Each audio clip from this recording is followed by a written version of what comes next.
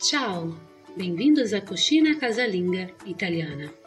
Hoje eu vou ensinar para vocês uma deliciosa receita, rapidinha, fácil, como sempre, de batatas rústicas, que nós comemos aqui com a carne grelhada, com frango, com churrasco.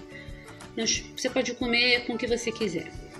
Nós vamos precisar para duas pessoas de duas batatas para cada pessoa, como essa batata aqui é grande.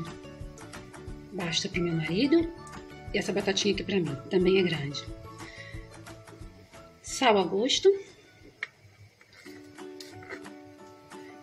Alecrim.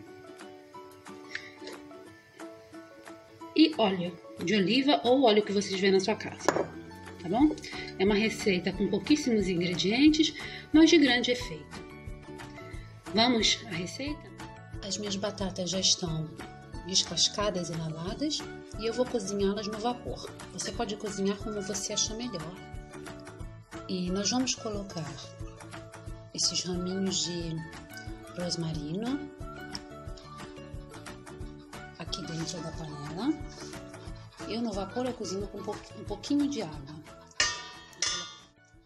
Vou colocar a panela para cozinhar aqui no vapor e vou colocar as batatas aqui.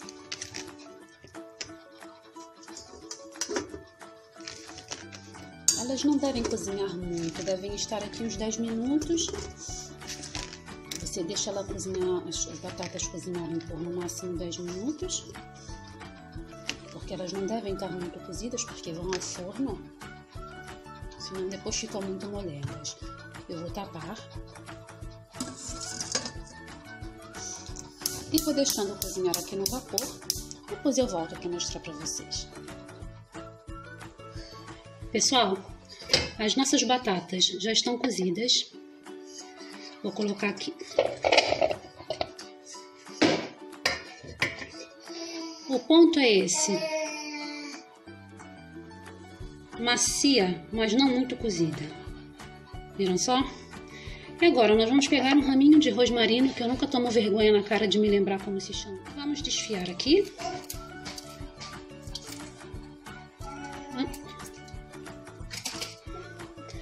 Um pouquinho de sal, sal a gosto.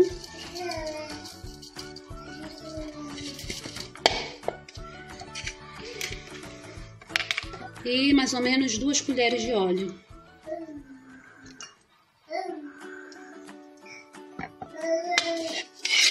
E vamos misturar as batatas delicadamente, porque senão elas se desmancham.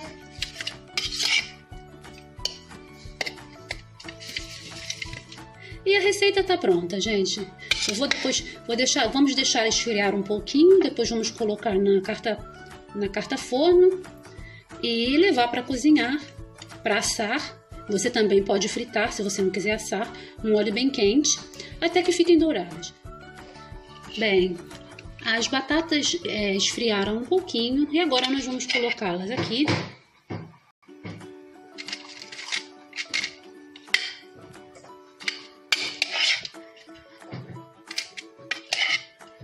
e vamos, e vamos levá-las para assar